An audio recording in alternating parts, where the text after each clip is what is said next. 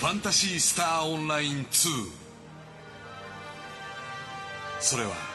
自分だけのキャラクターを生み出し戦い育成し仲間と共に幾多の惑星を冒険するオンライン RPG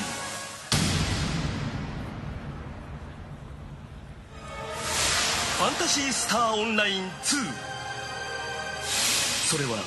自分だけのキャラクターを生み出し惑星調査隊アークスの一員となり未知なる宇宙を冒険するオンライン RPG 君のキャラクターはプラットフォームの枠を超えて冒険が可能だ。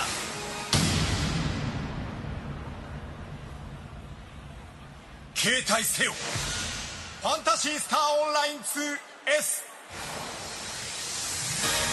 境界を超える RPG はついに究極進化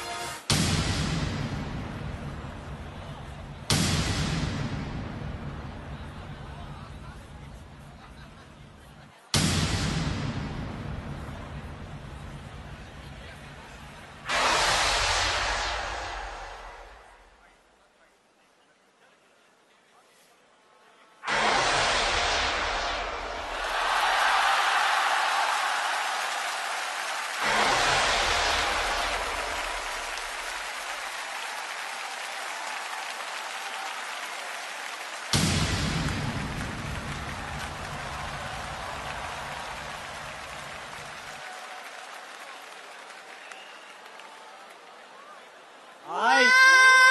あんだけ散々やんねえやんねえって言ったらやっぱやるんすね。あざっす。あざっす。いいね。まあずっと考えてた。準備をずっとしてました、はい。ね。はい、ということでですね、スライドお願いします。15周年プロジェクト第10弾として、プレイステーション4版 PSO2 が開発中です。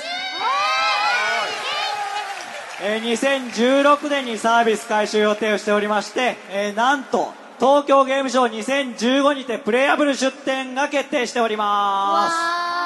来月じゃないですか。さ、さ、触れるってことですす。か？触れます。ねわ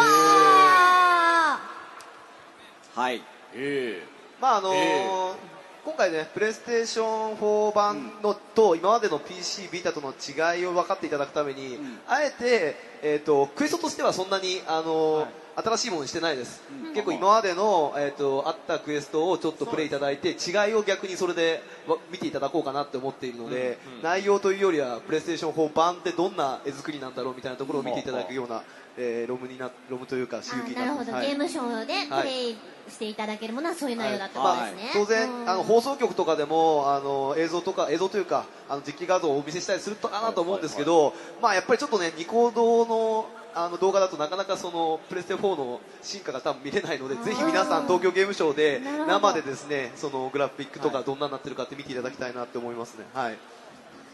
はい、なんかいろんなね 質問がもうねニコ生のコメントでたくさんキーボード対応するのかとか。もう喋んない。今俺マイクで言わなかったんまああの動く PSO4 版をですね生で、えー最速で見られますのでぜひ TGS2015 に皆さん来ていただければと思います、はい。えー次はそしてドリキャス版 TGS 対応ねドリキャス版はない。ドリキャスはドリキャス版ごめん絶対ないわ、